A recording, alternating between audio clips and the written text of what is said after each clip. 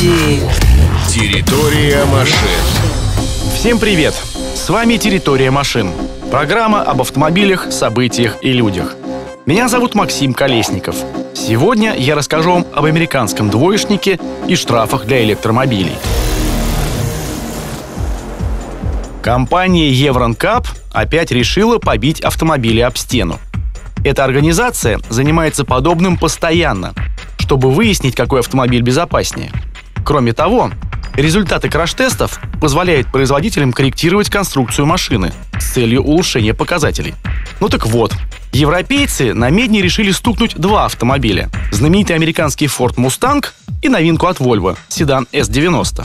Результаты теста «Мустанга» поразили всех, в плохом смысле слова. Специалисты отметили, что спорткар отстает от прогресса практически по всем показателям. Виной тому почти полное отсутствие современных систем безопасности. По этому показателю Ford набрал жалкие 16% против почти эталонных 93 у Volvo. Защиту водителя и пассажира американец обеспечивает на 72%, в то время как у шведского седана этот показатель равняется 95%.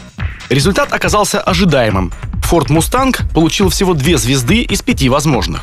Похожие цифры некогда показывали китайские поделки, но от огромной транснациональной корпорации подобного никто не ожидал. Похоже, руководители проекта Mustang ждут тяжелые времена и долгие выяснения отношений с руководством компании.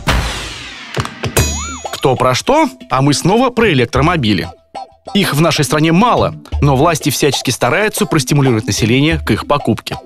Нулевые ввозные пошлины, преференции на платных парковках и еще куча всего. Но парадокс в том, что именно в парковках и кроются проблемы некоторых владельцев электрокаров. Предположим, вы владеете, скажем, электрическим Renault Kangoo. Внешне он совершенно неотличим от бензинового собрата. Так вот, вы ставите его на парковку, зная, что она для вас бесплатная, и получаете штраф. А все потому, что парконы и инспекторы с планшетами знать не знают, что это электромобиль и тупо выписывают штраф. Предлагалось даже создать единый реестр электромобилей, но инициатива перешла в категорию «обсудим потом». Самым логичным шагом была бы специальная наклейка или особый вид номерного знака, как в некоторых странах. Власти обещали подумать. Главное, чтобы не забыли. Это была территория машин. Не забывайте пристегиваться. Территория машин.